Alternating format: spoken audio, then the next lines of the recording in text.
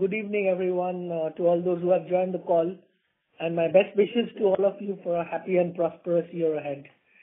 I would like to begin by reflecting on the operating environment during the quarter, post which I'll give you a flavor of our performance and followed by our strategy and outlook going forward. Uh, during the quarter, the operating environment was largely in line with that of the preceding quarter, with no discernible uptick in consumption.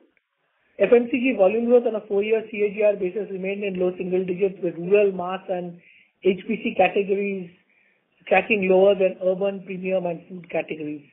So far, while the pace of recovery in consumption has not been on anticipated lines, we remain optimistic of a gradual uptick in consumption trends over the course of the next calendar year in light of improving macroeconomic indicators, continued government spending, lower inflation, and substantial cuts in consumer pricing implemented by large organized players in response to an accommodative and stable input cost environment. The prevailing consumption growth pattern, which appears to be more K-shaped, has also led to a continued divergence between how general trade and organized retail has fared, with the former contending with low business growth and rising costs, resulting in profitability and liquidity challenges in the trade. Given the heft of traditional trade and its structural and significance in a market like India, and they employ a lot of people, we have taken concerted steps to alleviate the strain faced by our partners and revitalize the channel, which is very, very important to rejuvenation of the growth, and especially in the core. We expect these initiatives to have a gradual and positive impact on sentiment in the channel and in the quarters ahead, while the pressure on our pricing going to which impacts realization, also subsided subsides over the next couple of quarters. Coming to our performance, organic domestic volume growth stood at 2%, which was about 200 basis lower due to a voluntary reduction in primaries to bring down inventory levels at the distributor end and enhance their ROIs. Despite the impact of this move, the performance of the four-year uh, CAGR and core portfolios conveyed signs of some improvement. Uh, volume growth on a four-year basis was 5%, and even sequential growth in uh, secondaries improved as far as the core portfolio is concerned. More than three-fourths of our business continued to gain or hold market share and penetration levels. Delving further, volume growth in Parachute improved sequentially as loose to branded conversion appeared to regain some pace, with the brand running consumer advantage pricing and copra prices exhibiting some upward bias. As a result, Parachute further strengthened its leadership position with a 40 basis gain in market share on MAT basis. We expect a gradual upward trend in volume to sustain in the quarters ahead as we move into next year. Saffola Edible Oil had an optically weak quarter with a mid-single digit volume decline on a high base of teens growth. During the quarter, trade remained watchful and continued to operate at lower inventory levels of at least four days. The brand also exercised discretion in billing across channels, as it did not want to operate below a margin threshold. Looking ahead, given that offtakes remained healthy during the quarter, we expect the brand to revert to growth from the next quarter. Value-added hair oils also improved sequentially, with mid and premium segments growing in mid to high single digits and driving mix improvement in the portfolio. Growth continued to be impacted by extended weakness in demand and sustained competitive pressures in the bottom of pyramid segment. Moving to the performance of our new business, Foods maintained its steady growth trajectory, should close the year with at least 750 crores, which would be about 4x of its scale four years ago. Saffola Oats anchored the growth and maintained its position as the number one brand in the oats category. Honey and soya chunks continue to scale up well and should reach a scale of 100 crores each in the coming year. Both our acquisitions, True Elements and Plix, continue to meet our expectations. Premium personal care sustained its double-digit growth momentum, with the digital-first portfolio surpassing 400 crores in exit run rate in Q3. The healthy scale-up of foods and premium personal care keeps us on course to clock 20% of our domestic revenues from these portfolios in aggregate this year. We are also actively working on steering brands that are gaining scale towards profitability. For instance, Beardo will be EBITDA positive this year, and similarly, Just Herbs and True Elements should be close to breaking even in the coming year. Our international business was resilient amidst transient macroeconomic challenges. Bangladesh exhibited some momentary weakness and persistent inflation and uncertain business conditions leading into the recently held general elections. While the core portfolios are a soft quarter, new portfolio shampoo and baby care fared better. Now the elections have been concluded, we expect business performance to normalize, and we should revert to delivering healthy growth in quarter four itself, and the January trends are encouraging. Southeast Asia also had a modest quarter marked by sluggishness in the HPC category in Vietnam. We expect to hold strong given the strength of our portfolio. The MENA business continued to grow impressively as both Middle East and Egypt business flourished. South Africa and our new country development and export business also registered solid growth. We had embarked on a journey to strengthen and diversify international business. While the journey is still underway, we have developed fundamentally strong businesses in each of the regions who are focused on getting the right portfolio, GTM, cost structure, and leadership right. The year has been characterized by a persistently challenging operating environment, but we do positivity from the improving growth trajectory in our core portfolios, although the growth has been slight, as well as the degree of success achieved in our diversification journey, both in domestic and international business. We have also initiated corrective measures to reignite growth in the GT channel, which will be the most critical aspect to get better, not only growth, but also diversification of our portfolio in chemist, cosmetic, and food, and rural expansion. We are determined to get GT back on track, which we believe will be instrumental in restoring the pace of volume growth in the core mass consumption categories. Better offtake trends and market share gains in our key portfolio also keep us in good stead. We believe that the improving trajectory in offtake growth across categories will be followed by a similar trend in secondary and primary growth in the quarters ahead, and we have already started seeing Parachute exhibiting this trend. Top line growth continued to be dragged by erstwhile pricing interventions in domestic portfolio and devaluation headwinds in certain international geographies, but we expect this to taper off further as revenue growth to turn positive in Q4. On the profitability front, we will be delivering record high operating margin this year, led by gross margin, which are set to expand by 450 to 500 basis points, and even after ramping up brand building investments behind both core and new businesses. While we aim to maintain a resilient margin profile in the quarters ahead, our focus will be also to deliver sustainable volume-led growth and by reinforcing our strategic priorities.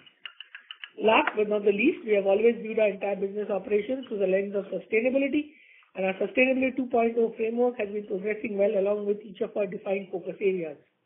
We firmly believe the value of creating shared value for all will aid us in driving sustainable growth in the longer term. Our dedicated microsite captures all ESG-related information and successful projects, and hope it will aid all stakeholders in gathering all the relevant updates on the progress we are making towards our sustainability goals. With that, I will now close my comments. Thank you for your patient listening. I am most happy to take all your questions. Thank you very much. We will now begin the question and answer session. Anyone who wishes to ask a question may press star and one on their touchtone telephone. If you wish to remove yourself from the question queue, you may press star and two. Participants are requested to use handsets while asking a question. Ladies and gentlemen, we will wait for a moment while the question queue assembles.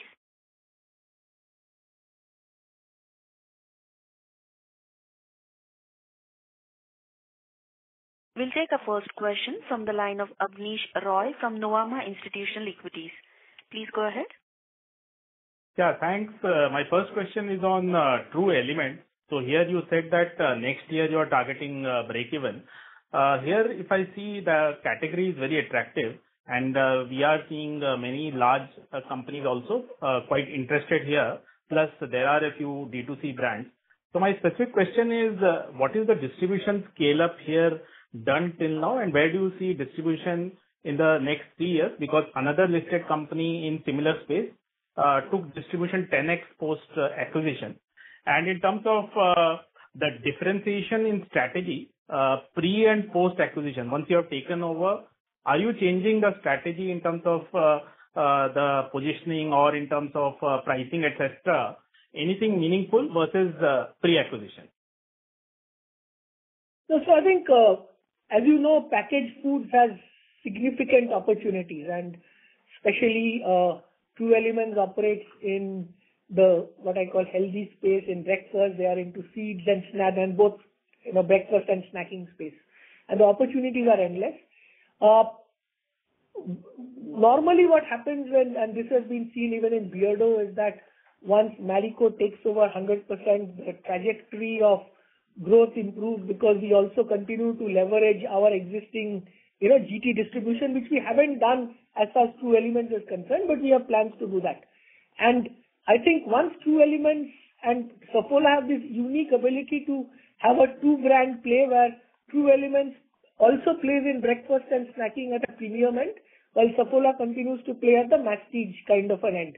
And therefore, I believe that the potential of True Elements is significant. Now, one of the other things we must keep in mind is that uh, we have been extremely mindful of the fact that while our digital businesses makes good gross margin, uh, True Elements is food, so we have made effort to also ensure that there is gross margin improvement. That overall, our digital businesses, which are right now 400, 500, and we expect it to grow, that in the next, you know, two to three years, hit double-digit plus EBITDA in that, you know, the overall digital businesses. Because that is very important, because if there are growth drivers. So we are mindful of the growth and the profitability together, and I think, uh, I believe that there is enough GT potential. We have started in a small way with Beardo, and we expect to do that with all the brands in the future. Sure. Thanks. Uh, two more uh, small follow-ups on foods business. So one, Plix looks uh, very attractive and very differentiated opportunity, very attractive packaging. So what are the initial uh, learnings? What are the initial findings? And Second is on Masala Oats. Another listed company entered a few quarters back. They are trying a slightly different position, uh, which is millets plus oats. Millet has become, in fact, quite normal by most FMCG companies. So wanted to understand in Masala Oats, how is the competitive intensity? And uh, you have enjoyed an extremely good run there. Uh, do you see some risk of market share loss uh, next two, three years? Okay. So, what was your first question? Sorry, I- Plix, Plix. Plix. Yeah, yeah. So I think, see, Plix operates in the overall wellness space, and I think compared to some of the other brands, it's a very, very young, vibrant brand. Now, wellness, there are different opportunities. If you see at wellness, there are multiple vectors of wellness. There is, you know, which is cardiovascular, there is diabetes, there is weight management, there is bone health, there is gut health. So therefore, Plix offers huge opportunities to operate as a full spectrum wellness brand. The good thing about Plix is, I think, the innovation velocity, strong consumer insights, and their quality of digital marketing is extremely best in class. And if you look at Plix, I see a 200 crore plus opportunity even next year, the way the run rate is. And therefore, I believe, and also the, compared to the other brands, including, uh, you know, in this space, the bleed is extremely low.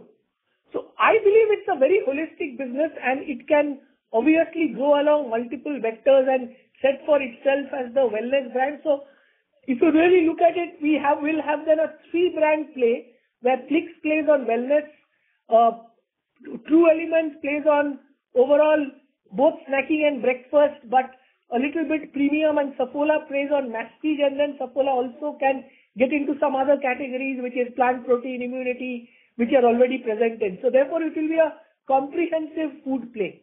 Now, coming to Masala Oats question. See, I think the penetration of the category is very low, so it's good that multiple players are investing to grow this category. Yes, you might lose share, but the end of the day, I think what is most important is that Indians now have a choice of having far better, healthier, in-between meal snacking. Uh, we also have millets in some of our uh, variants already, and we are very, very uh, focused on ensuring that millets is a success. And therefore, even in oats, as you know, there is a variant which has millets in some of our Masala Oats that also. And therefore, I think the position, it's not about the positioning. I think it's okay to have multiple players expanding this category, because there is no reason why this category shouldn't have double-digit uh, penetration in the next couple of years. Sure. Uh, thanks. Uh, my last question will be on the traditional kirana channel. Growth has been very challenging across most companies here, and you did speak of the stress here. You also spoke that you'll be you are taking a lot of proactive steps here to get a gradual uh, recovery. My specific question is, uh, India's largest consumer company, uh, they are moving towards a alternate structure where more of variable component and less of fixed component. So, what are your thoughts on that? And if you could give some more color as to what exactly you're doing, because there, the shelf space issue remains, there, regional players issue also remains. So, the intrinsic issues, how do they change? Because the competition with the Uh, uh, online, uh, the quick commerce, that also remains. So, are the problems changing or will it be more of the market share gains which will help you? Okay. I will give you a more, you know, overall holistic view about this. I don't want to comment about anybody's margin profile and all the plans. See, if you look at it, and there is something slightly unique to Marico. You know, we have in our organized trade and urban, we have a far more skew on Saffola and foods. While coconut oil and hair oil dominates our urban, mass and rural. We also don't sell sachets. So therefore, our gross margin of, and our profitability of the mix which we sell in uh, GT, mass and rural is far higher. Number two what has happened is that the entry barriers to organized trade has reduced. Therefore, you can buy perhaps volume share or you can buy this one by spending. There continues to be a significant entry barrier for creating distribution infrastructure, and therefore a rural distribution or a strong urban distribution is a source of competitive advantage. Having said that, obviously, when you are a challenger brand, it's easier to get market share in, say, OT compared to GT, because GT you have to make that systemic effort. Like for example, if you look at honey, for example, as a category, we have far more share in e-com or modern trade compared to GT.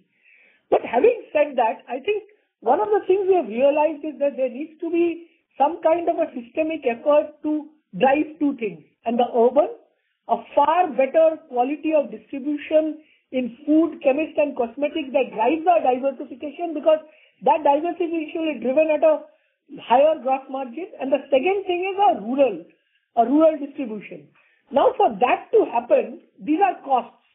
Now, what are the things which, you know, and the other, which is the other issue that has happened is that in the absence of revenue growth in that channel, especially in urban, you know, uh, till last year because of Saffola, you know, inflation, obviously there was revenue growth. During COVID, there was revenue growth because our modern trade was not, you know, working at full potential and also the smaller players were not there and therefore large organized players, including us, had a significant growth in GT, which has now got absent. So I think this problem has started, got accentuated from Q3 in the last year.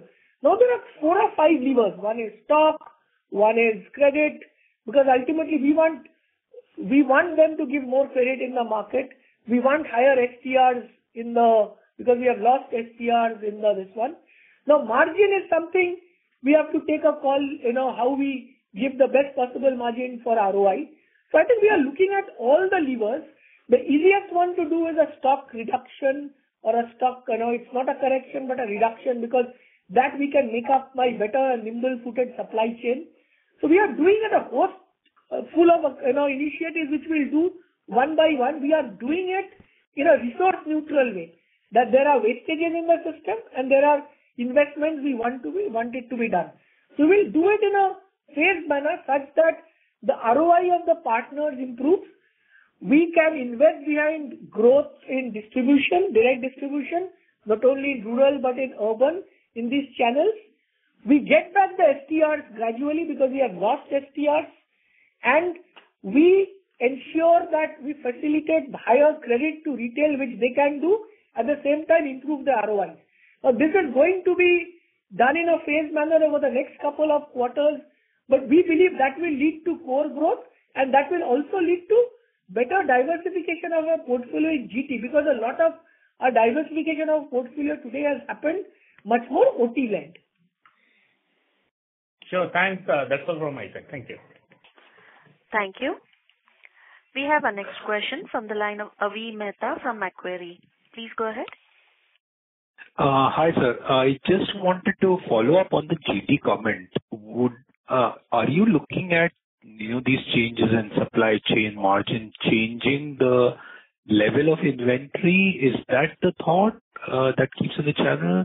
Or is it more uh, because you target about nimble supply chain, so would love to love to understand what do you mean by these. And could you just clarify or give us some examples of what are the changes that are being done to change to kind of drive growth? Again, I am just giving you in a structural way. I'm not getting into specifics. But if you look at it, ultimately, I give my distributors a certain margin. They have certain costs. I give them a certain credit. They give certain credit in the market, and they hold some inventory. Without getting into permanent, you know, hit to the P&L, what are the things we can do in terms of our efficiency to first drive ROI of the distributors? I think that's the philosophy which we are following. So that they make ROI, we ensure we have resourced our distribution expansion, and we also ensure they pass on, they can pass on better credit to trade so that the trade STRs go up. I think, uh, see, the margin is something is a one-way street, okay? So that, that's the last resort we will lead to. And even in margins, we can look at, you know, things like high margin brands, which are the diversification, this one, but there is no need. Similarly, you know, if you look at wholesale distributors, they don't need. So I think margin is something which we'll tackle later, but there are enough other ways to manage it. For example, I am prepared to keep on reducing inventory such that because inventory is a cost of carrying that inventory doesn't drive offtake, no? We have to ensure all our investments towards to are driving offtake.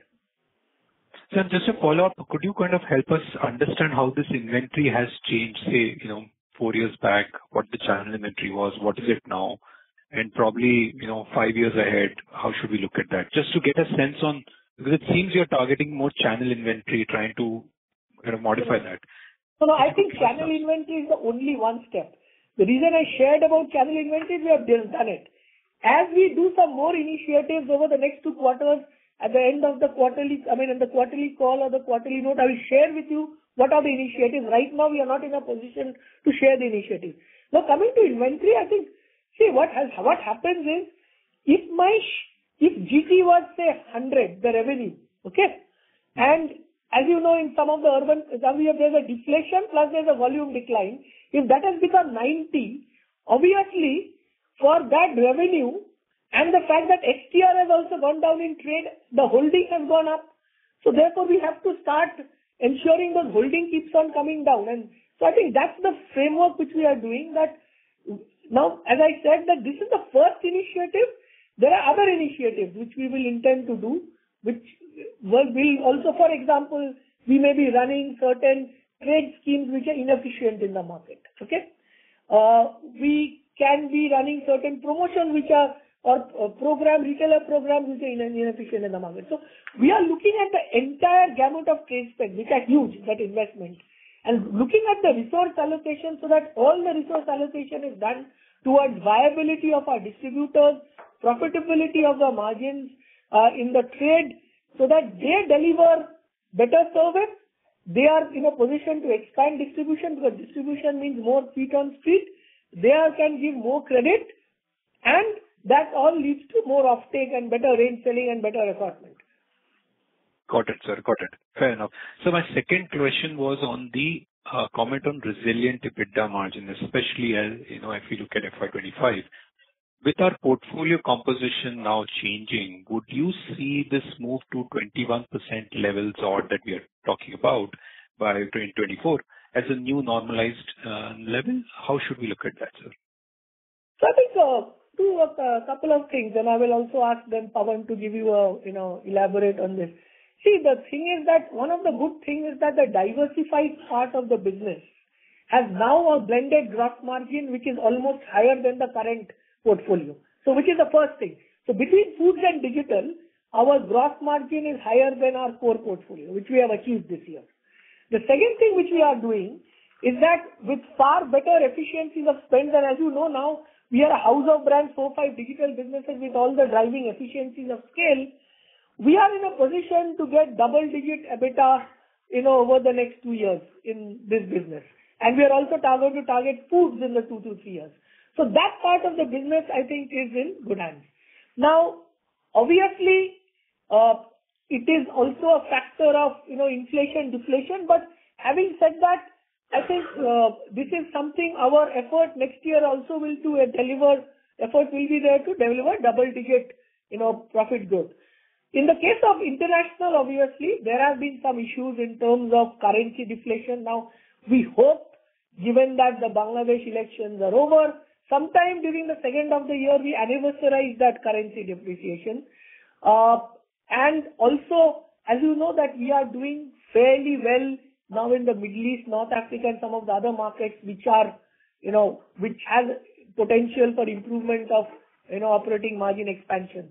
So given all that, I think our endeavor will be to actually continue to deliver double-digit bottom line growth next year. Uh, Pawan, you would like to add? No, I think, Saugata, you've uh, covered comprehensively. Uh, it's very difficult to give a margin guidance at this stage, because we do not know as to how the inflation or deflation will play out for our key commodities like copra and uh, vegetable oils. But having said that, uh, what we are committed for is to uh, deliver at least low teen profit growth next year. And the drivers Saugata spoke about, drivers would be, first of all, in terms of we definitely expect the revenue growth to be in double digits if there's inflation in the portfolio. Number two, we spoke about significant improvement in operating margin of the digital and foods business. Number three, there are a couple of international markets where there is definitely a possibility of improvement of operating margin. And number four, I think, uh, there'll also be some benefits of A&P amortization. So far, we've not driven uh, Saffola Master Brand strategy, and so far we've been spending in different buckets under Saffola. We believe uh, next year we should start that journey. So with the levers of all of this, and lastly, maybe also, if our premiumization also plays out well, that also improves our gross margin. So with a mix of all this, we believe that at least uh, we would be targeting uh, low teen uh, profit growth, if not more. Perfect, sir. This is very, very helpful. Thanks a lot for this, and this is exactly what I was trying to better understand. Thank you very much, sir. Yeah. Thank you. Thank you. We have our next question from the line of Arnab Mitra from Goldman Sachs. Please go ahead. Hi, my question was, as we look... Yeah, my first question was on, as we look into next year, do we see, Uh, when do we see the price decline in Saffola and Parachute anniversarize? And do we see any pockets of price increase that we can see? Because we are seeing certain categories in personal care, where price hikes have started happening, so there is no commodity pressure. So could you just help us understand these two aspects on uh, pricing? So I think, uh, I'll give you based on our current, you know, whatever the outlook is. Uh, in terms of uh, the revenue, the price, uh, you will see a slight revenue uptick in quarter four itself. Now, quarter three, we had earlier committed, but what happened was that since, you know, in Parachute, we had to take some pricing, tactical pricing interventions to get volumes back on track. And in fact, if I look at offtake and secondary volumes, Parachute growth have been robust in this quarter.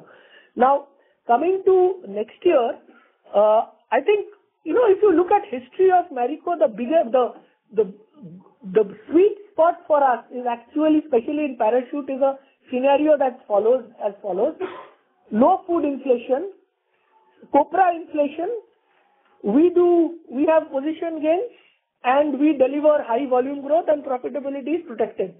We see that scenario likely to happen in the second half of next year. And as far as uh, Saffola is concerned, obviously, I think the if you look at uh, the price around, uh, you know, pre-Ukraine, the price of Saffola Gold, that's a bellwether brand, it was around $150 a liter. It went to 230. It is currently around 160. So most of the reductions are done, I think. And any pockets of price increase in VAHO and other segments that you see? If there is copra inflation next year, Parachute, will take price increases. Sure, understood. Uh, my second question was on the food business. You've got 18% growth in this quarter. This includes, I presume, uh, inorganic components that got added to the business. So could you help us understand what could be the organic growth? Has it slowed down for some reason? Uh, what could kind of be the reasons why we think it could accelerate next year? So, I think I alluded to last time is that, uh, one of the things we are doing in our foods right is getting our supply chain and getting our gross margin right. So, uh, so there has been a slight slowdown, but if you look at trends, we should be in a position to get back into 20%+ plus growth from this quarter onwards. Got it. And my last question, Saugata, was basically, if you look at Uh, uh, on Pawan's comment that next year, uh, since commodity prices are difficult to call out, you still look to deliver a double-digit earnings growth. given that margins, it's unlikely that you'll see margins further go up from where they are. The burden of growth essentially comes on top. Given the current environment, does it not look very difficult that we could see a double-digit revenue growth next year? Because as you rightly mentioned, pricing you would probably anniversarize at some stage, Uh, but you would have to literally deliver very high single-digit volume growth to get to double-digit kind of earnings growth. Is there any difference in how I'm thinking versus what could be the template for next year? Now, if you look at uh, copra cycle, typically it follows 18-24 month cycle. So logically, we should have inflation in uh, copra. So, we definitely expect once the seasonal months are over, it should definitely have an upward bias. So therefore, there'll be a time where we have to take certain price increase. So if you're able to deliver, you know, at around 6%-7%, 5%-7% volume growth, I believe that the balance will be made up through pricing as well as some part of the portfolio which will have, uh, you know, better better premiums. For example, let's say hair oil does better or the digital business contribution increases, so that delta will be uh, sort of uh, filled up from that from that part of the portfolio. And also edible, as I said uh, earlier, that it has bottomed out. Uh, we have gone back to almost uh, pre-COVID level prices, so we do not expect any further deflation in edible oil. As and when if we face any inflation, of course there could be some price increase. So as we move into quarter four, we definitely expect Parachute to move into positive revenue growth. Come quarter one, the entire anniversarization of edible oil will be over. And then depending on if there's an inflation in edible oil, that will also sort of move into positive trajectory. As far as value-added hair oil is concerned, we might take certain price increase depending on uh, how the crude oil prices move. And typically we see that we can always take 2%-3% price increase in the portfolio without much of an impact on the volume. So, with all this, we believe that if we are able to deliver certain level of volume growth, it can definitely move into uh, double-digit uh, revenue growth. Okay, thanks so much, Pawan. Very, very helpful. That's it from my side. All the best. Thanks. Thank you. We have our next question from the line of Vivek M from Jefferies. Please go ahead. Uh, hi, good evening. Um, a follow-up to the earlier question on food, Saugata. If we do the math, I mean, it looks like that, you know, uh, adjusting for Plix, the base portfolio actually provided didn't grow. Is that a fair, uh, you know, is that a correct calculation? No, no. So around the... The food, the core has been a mid-single digit growth. True Elements has anyway anniversarized. So basically it is just the Plix part of it, the food part of Plix. So as I said that it is at 18%, I believe that from this quarter onwards we'll be back into 20%+ plus because of the fact that what we did was, uh, we slowed down some of the things because of our ability to manage freshness and also our ability to get the gross margins right. So also there has been no innovation. Uh, if you look at the other thing that has happened is that this year winter has set in late, but anyway, honey has not given significant growth. If you look at everything, I think, uh, because last year was a big honey season. So if you look at all that, I think it has a mid-single digit. But as per trends in Q4 is concerned and whatever steps we have taken, I think we should go back into 20%+ and even next year into 20%+ plus kind of a growth.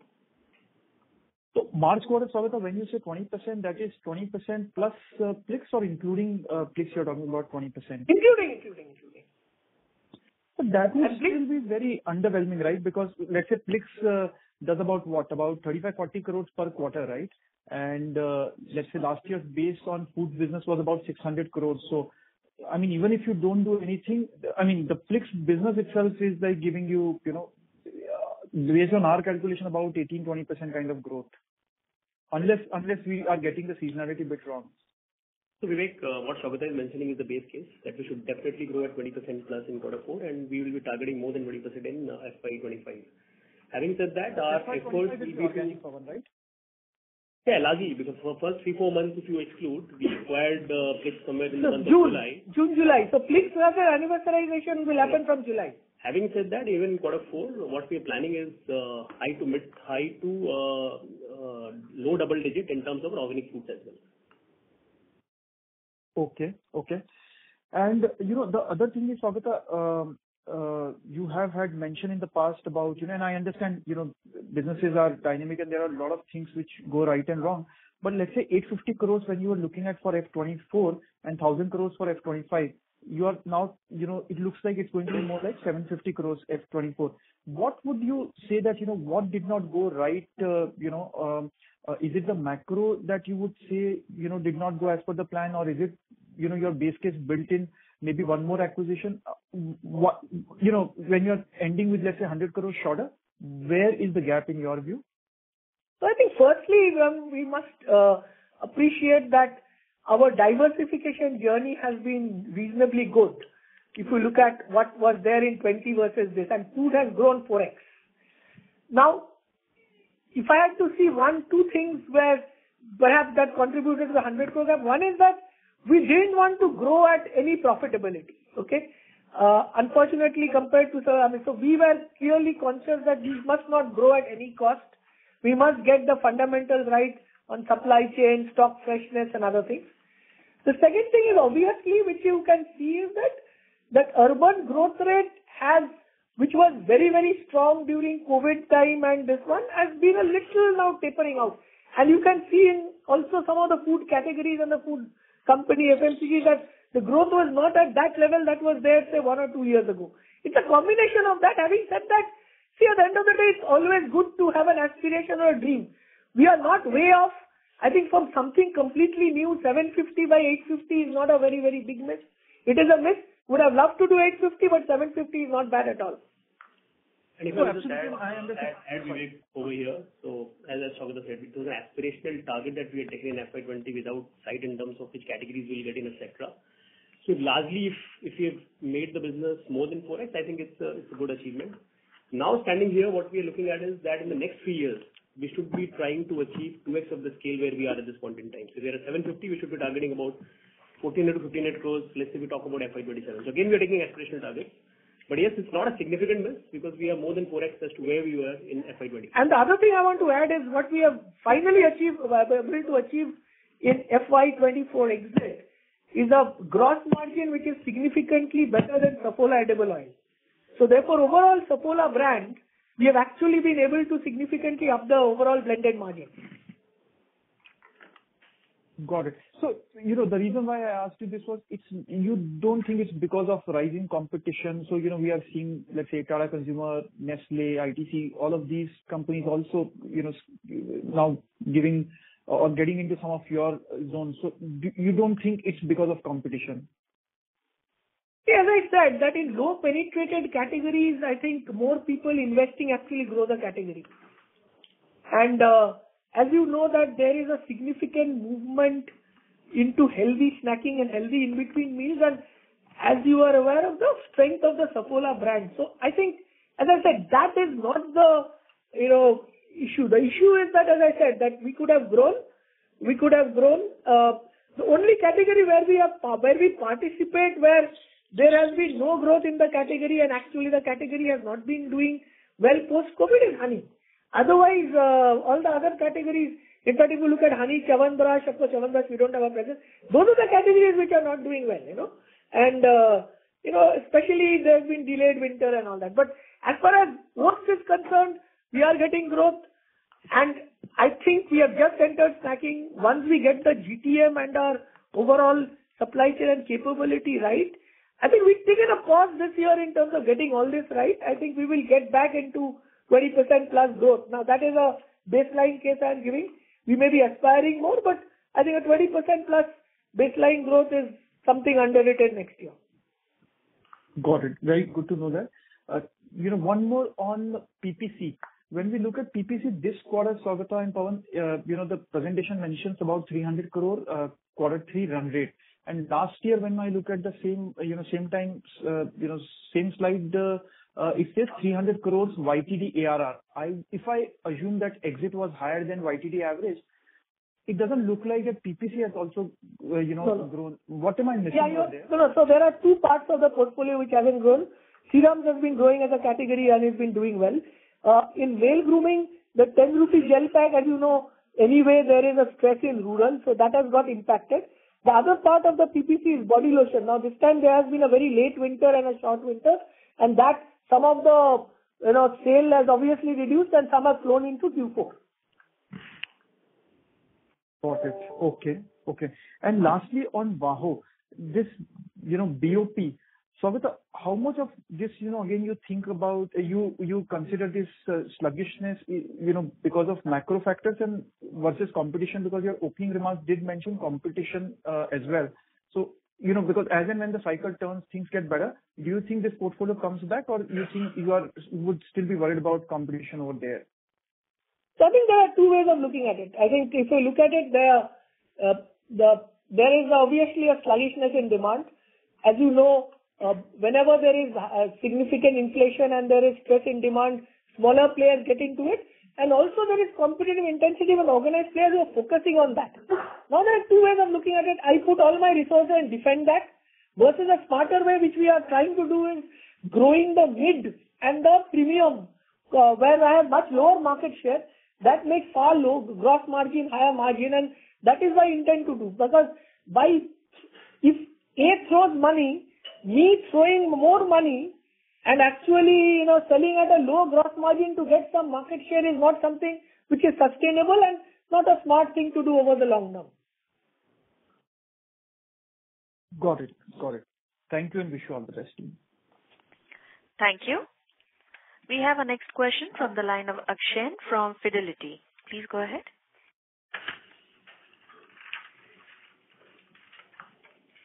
Mr. Akshen, can you please unmute your line?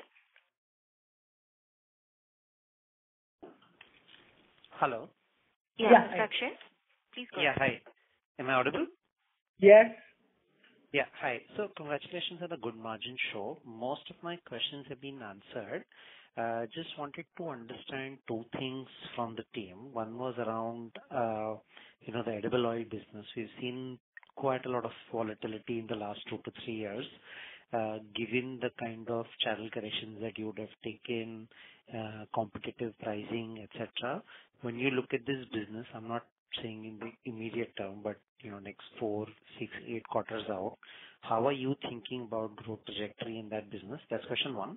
Uh, question two is, you know, you seem to be confident that the changes that you made in the distribution end will, you know, help growth. If you could just sort of help us understand what was the difference between primary, secondary, so that we can at least better gauge if, you know, there is a gap that can be caught up in the coming quarters. Those two questions, and I had a follow-up, but I'll wait for your answers for this one.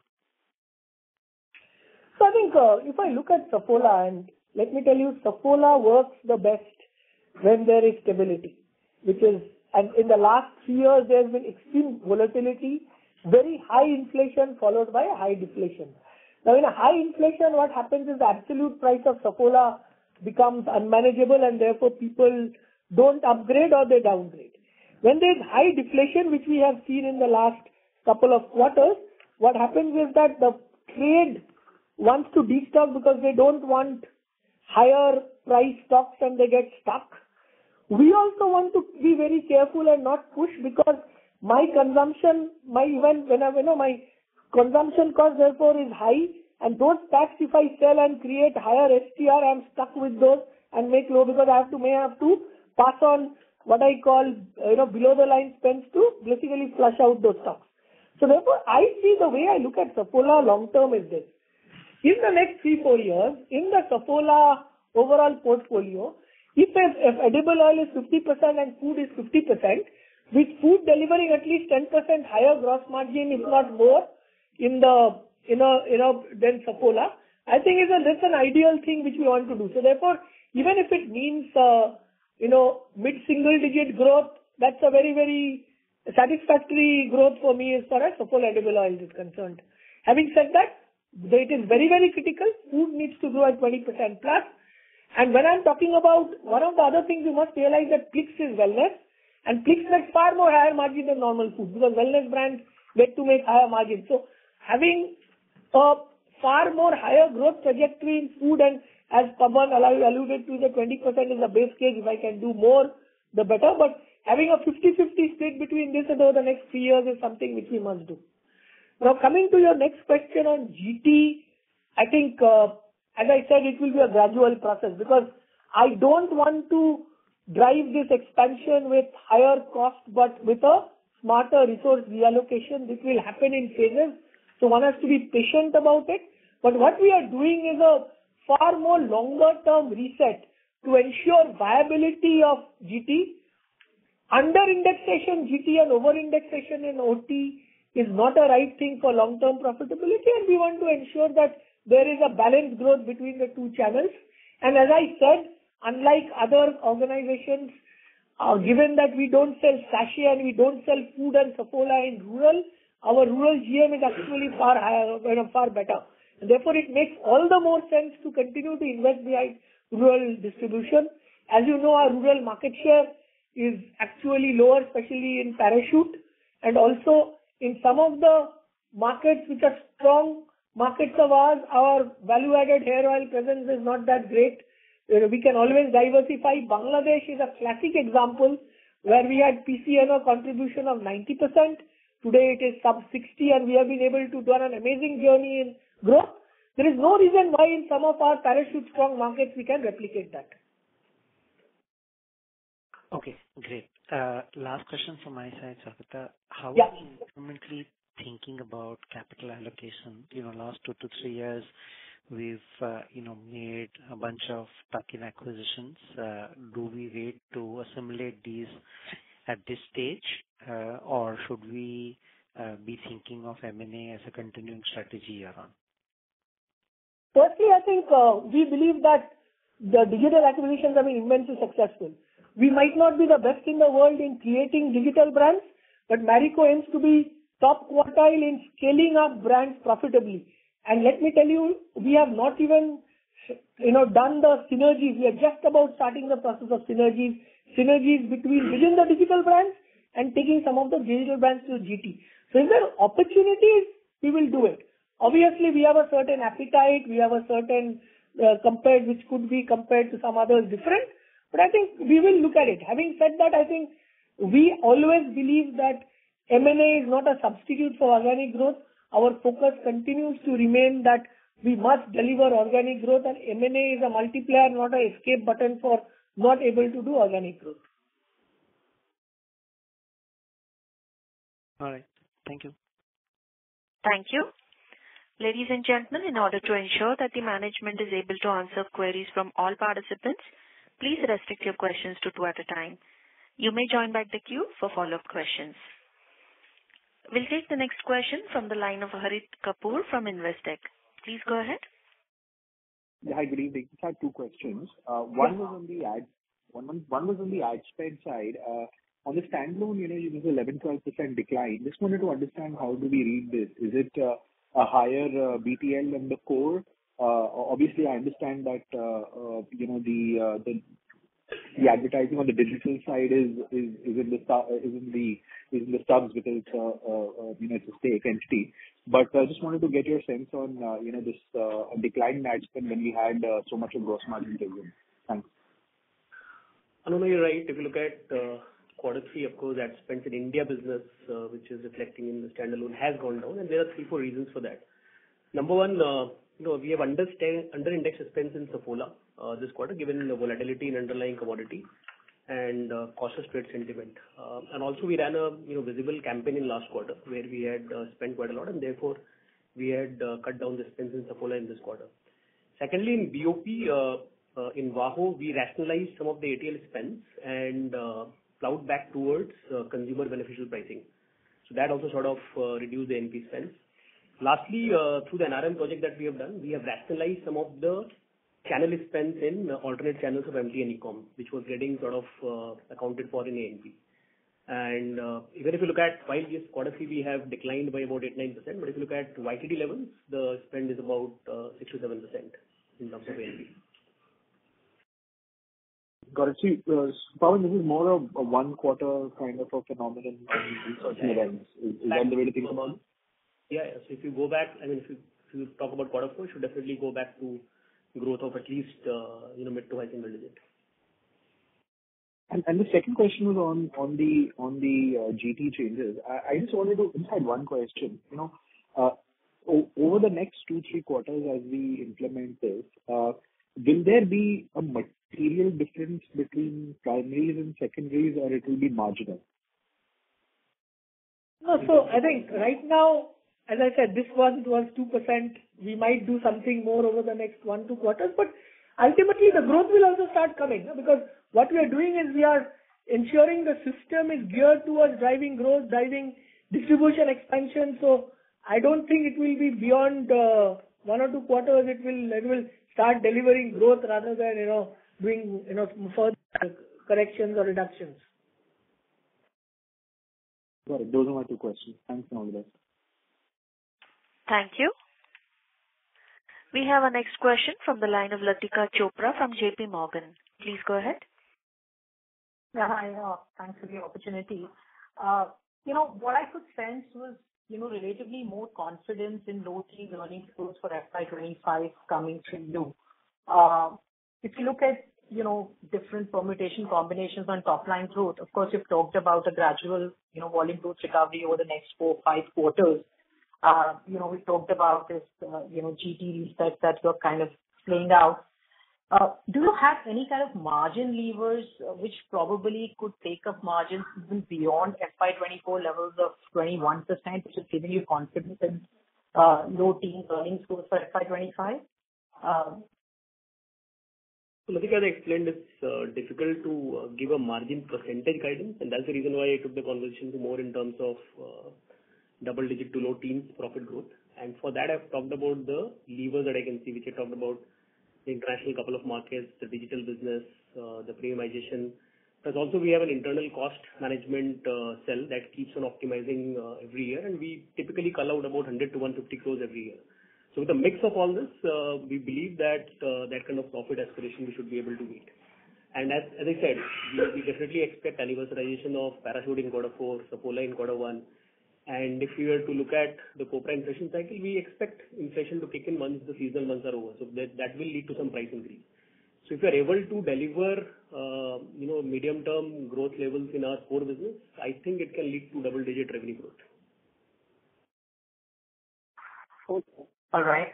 Uh, the second question was, uh, you know, comment that you made on food business, 20%+ plus growth.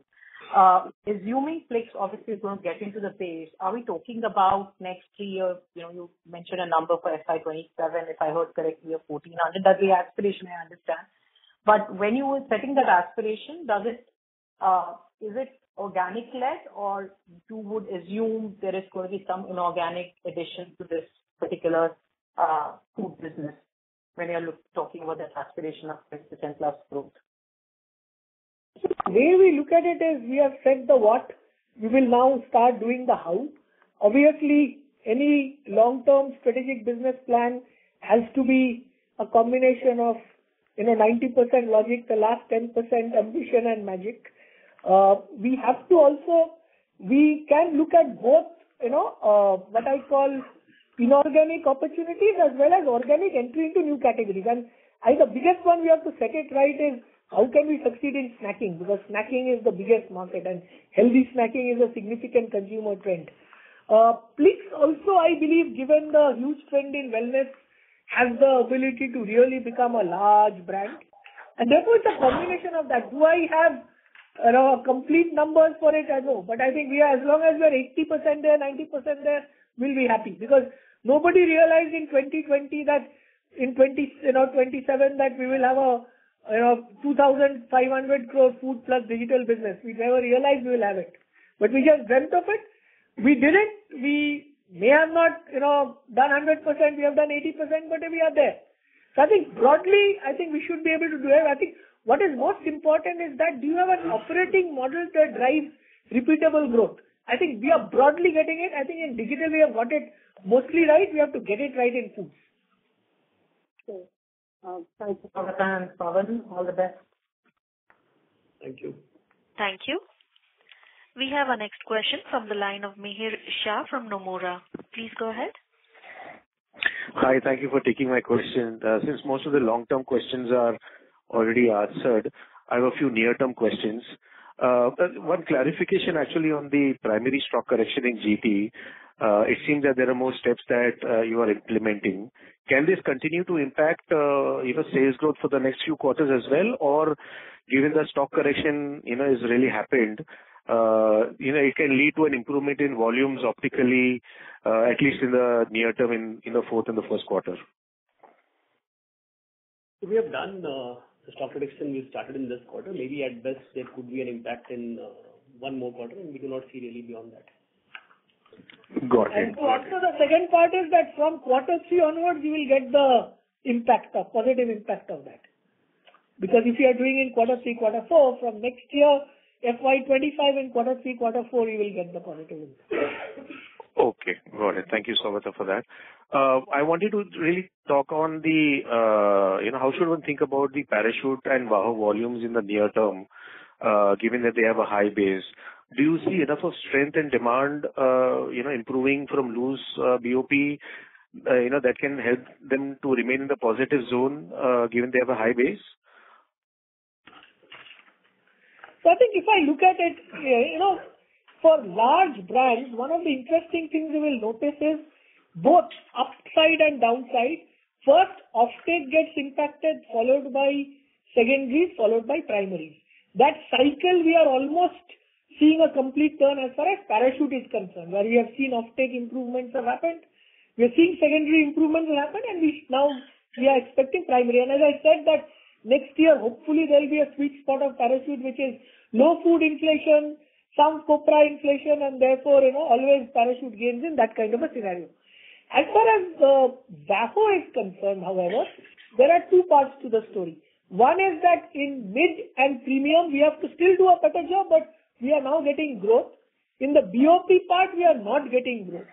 And the BOP part is not getting growth is a combination, as I said, of stretched consumption with smaller players participating and some of the intense competition that is happening. Now, that part we are not clear about what will happen to that, but at least we are extremely focused on improving or accelerating our growth in the mid and the premium part of it. Understood. Got it. And a quick one on Saffola oils. Uh, I mean, given the sharp price cuts that we have seen, the GT correction, can one expect volumes growth to come back to double-digit growth, uh, you know, in the near term, or there is still headwind, you know, from the lower price players that can continue to impact volumes for them? I don't think we are aspiring for because the double-digit growth of Saffola will happen only at the cost of margins. We don't want to do that. We are far more focused on putting the resources behind food growth, and therefore, even if there is a, you know, mid-single digit growth, we are okay with it. Got it. Thank you so much, uh, Saugata and Pawan. Uh, wishing you all the very best. Thank you. Ladies and gentlemen, that was the last question for today. I would now like to hand the conference over to the management for closing comments. Over to you, sir. To conclude, uh, we've delivered a competitive performance in a rather challenging operating environment. If you go by offtake growth, market share and penetration trends, we believe we should see gradually improving growth trends in the quarters ahead.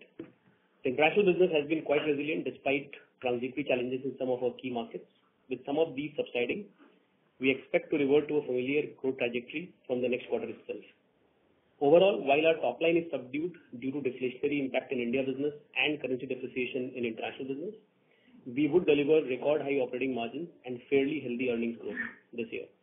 We've also made visible progress towards the strategic imperatives set out at the start of the year, especially in terms of portfolio diversification, and we would continue to invest behind the same. That is it from our side. If you have any further queries, please feel free to reach out to our IR team, and they'll be happy to address. Thank you, and have a good evening. Thank you, sir. On behalf of Marico Limited, that concludes this conference. Thank you for joining us, and you may now disconnect your lines.